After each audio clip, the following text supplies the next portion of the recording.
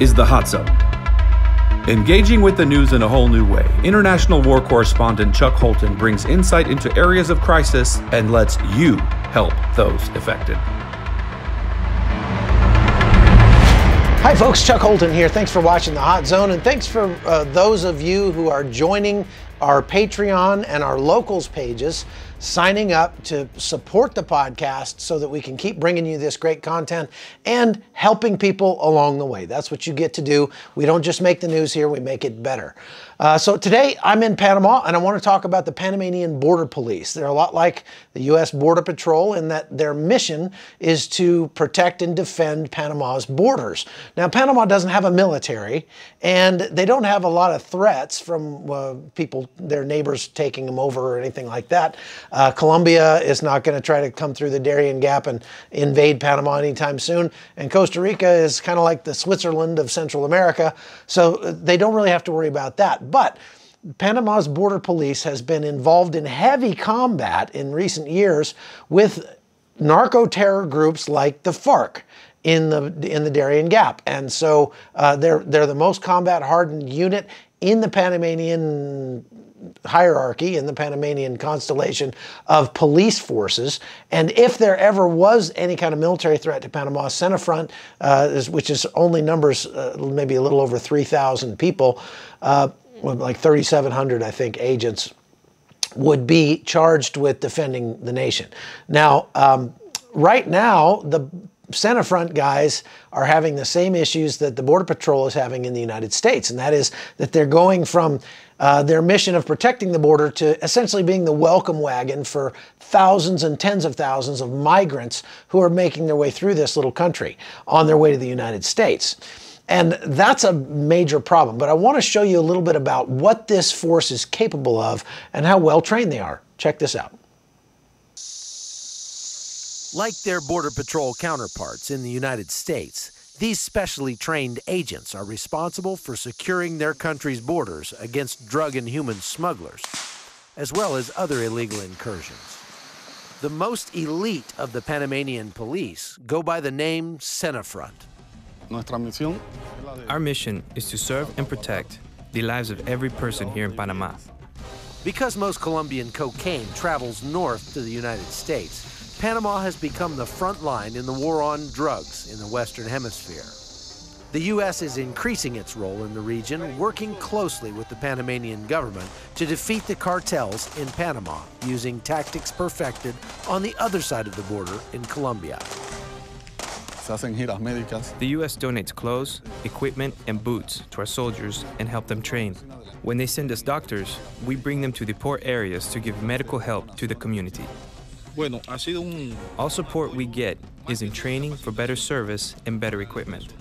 The U.S. has intervened here in Panama 18 times since the country was formed.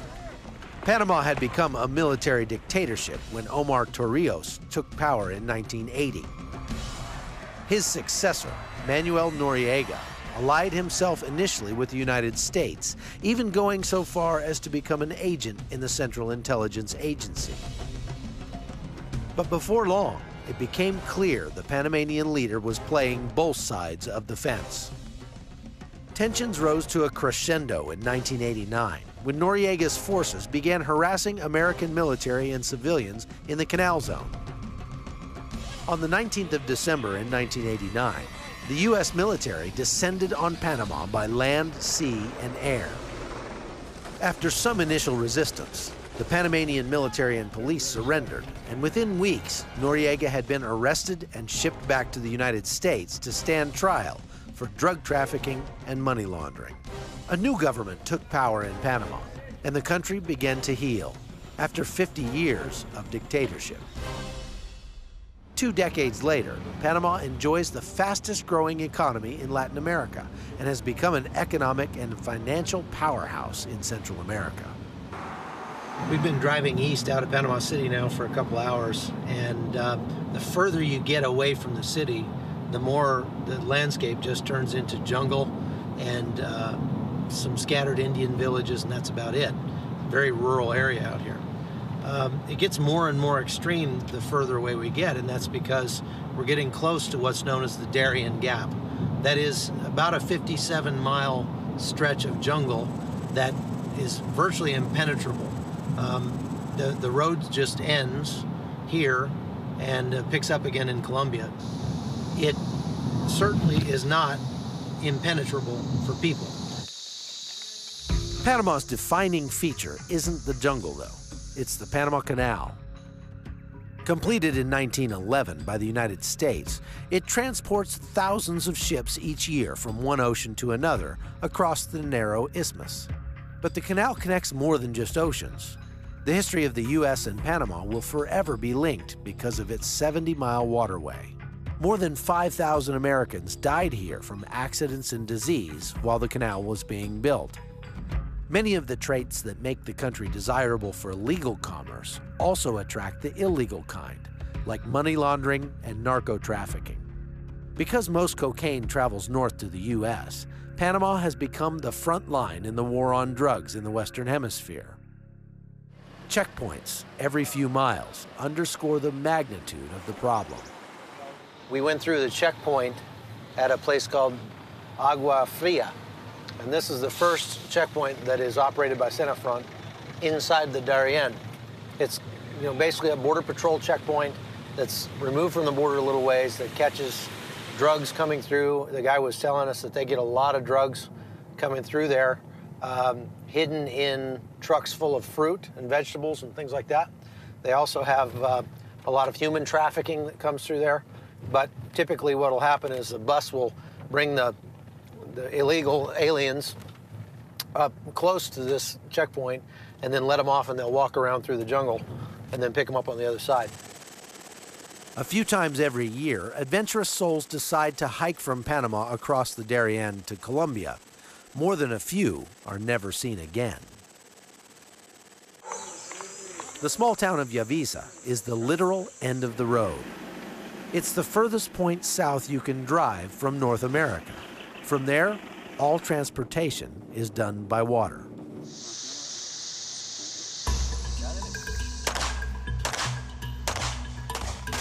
These agents of the Panamanian Border Police are out here in the jungles of the Darien at a training base called Metetí. Today they're doing training on a new pistol. And for them, it's very serious because they know that their enemy, the FARC, is also serious about what they're doing. Today, we are planning an exercise to infiltrate a base and take the objective. We are starting with sniper and advanced shooting. We give them different coordinates and points of strategy. The troops are in position and ready to begin the exercise.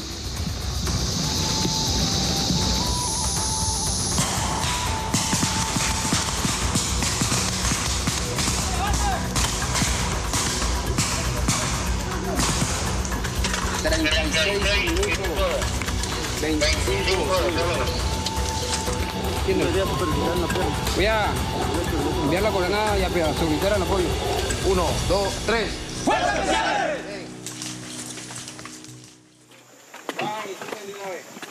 It's early morning, and there are almost 100 of these Panamanian border police They're getting ready to leave and go upriver deep into the jungle. They're going to stay for almost a month. From here, everything happens by boat. We're on the Rio Chucunaque. We're heading upriver. In this area, every village is an Indian village, from the Kuna, the Embera, and the Wounaan. Everything happens movement-wise on the river, and that includes drug trafficking and human smuggling, and that's why these guys are here. Several tribes of Indians live in the Darien, and their way of life has changed very little in thousands of years. They subsist by hunting and gathering, much as their ancestors did, with one unfortunate difference. The drug trade threatens to destroy their simple and harmonious way of life. Narco traffickers often force the Indians to act as drug mules, transporting bricks of cocaine into the city under threat of violence.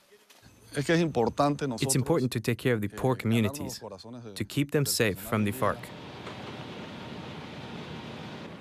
¿Tu mamá dónde está exactamente? Por allá adentro. Está por dentro. Ah, bueno, le dice que cualquier cosa estamos aquí, que ustedes son importantes para nosotros. Fíjate. Aquí tiene, muchas gracias. We are helping them so they know to trust us, and they know we are here to protect them. We are not like the FARC. Para tener una oportunidad de trabajo, por favor, háganlo.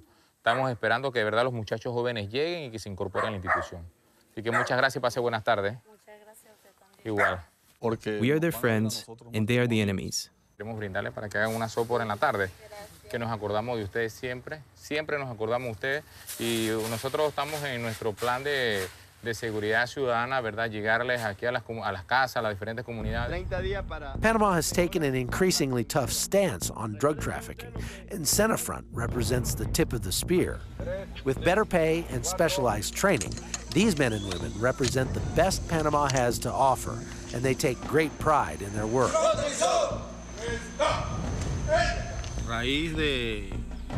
We get support from institutions from Panama and other countries that support Senafront. We have made big changes and now have more security in the area. Thanks to the government, we are keeping the FARC under control and keeping an eye on the border. We have already destroyed multiple FARC camps and started taking back our territory. Senafront agents here put their lives on the line against an enemy with more money and better weapons, knowing that the narco terrorist will stop at nothing to get their poisonous cargo through. These agents train like their lives depend on it because their enemy not only ignores the border, they know no boundaries of decency or respect. So I made that documentary a few years ago, but it still holds true today. Senafront is, like I say, the best trained force in Panama, and that's not really saying much to tell you the truth. I mean, I personally fire far more rounds in a year than anybody in Front does.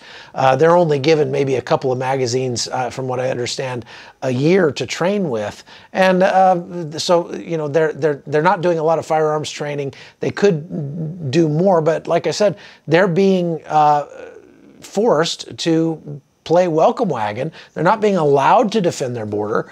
And basically, it comes down to this you get more of what you subsidize and less of what you punish.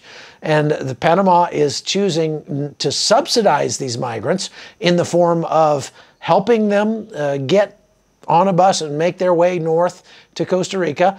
Also, uh, in feeding and housing them. And it's just a humanitarian thing to do, of course. But as I've often said, Panama could put a stop to the migration coming through its borders if they made it a lot more painful for the people coming through. In that they just said, "Okay, you get to Panama, and uh, when once you get here, you're not being persecuted, but you can't leave. We're not going to allow you to, to, to go to Costa Rica. We're going to make you stay in these camps in Panama for at least one year." And uh, we're going to prosecute anybody who brings a child through the Darien Gap because that is that is neglect and abuse. There's no two ways about it. If you drag a child through that six day trek through the Darien Gap, that is abuse. And many children are dying along the way. And it's all because of the policies of the United States that are giving preferential treatment to single mothers and mothers with children, people with children, uh, that, that is causing uh, over 19,000 children this year to be brought through the Darien Gap. So that's a real problem. All right, we got more coming up uh, on the Hot Zone later on. And so stay tuned. I'm Chuck Holton. The Hot Zone is produced by Amy Holton and Livefire Media. Copyright 2021.